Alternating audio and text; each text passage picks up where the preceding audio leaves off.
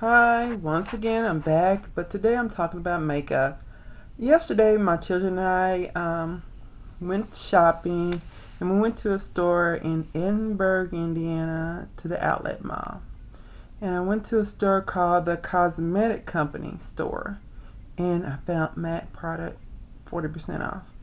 Well, it is also, um, I believe, um, older MAC products, but I was still able to find some of the basics there, and um, I got me some um,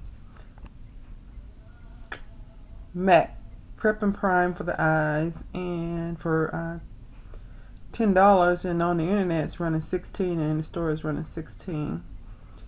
Also, um, I got a set of quad eyeshadow pencils, and they were really pretty colors, and I got them for twenty dollars. And on the internet, they're running $16 per for one, and they're really soft, and I like this the uh, consistency of them. Um, also was got me another bronzer brush. Um, that's for just the you know cheeks, and because uh, I like that flat, the flat surface of those type of brushes. Uh, it gives you that glow. I also I've been looking for a yellow because I saw one of the girls on YouTube um, doing the yellow look, but as you can see, I didn't do a very good job at it. So I'm going to keep on trying, and if I find a good way to apply it, um, I was I think if I play with it enough, I'll get the style I want and the look I'm looking for. Um, she had a real dramatic look. I'm not looking for the dramatic look, but I just wanted to use it in a almost an everyday fashion and I don't think I had quite the colors I needed to go with it.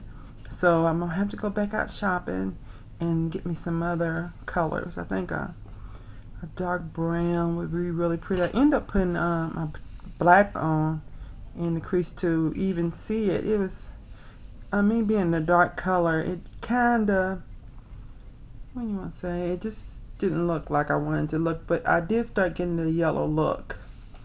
Um,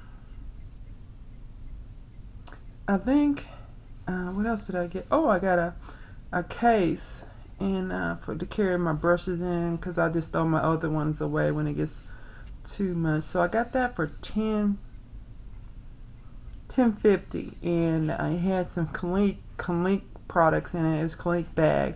I think it was a buy with purchase, you know, type of thing, but you could buy it. And it had uh, real pretty uh, eyeshadows in it.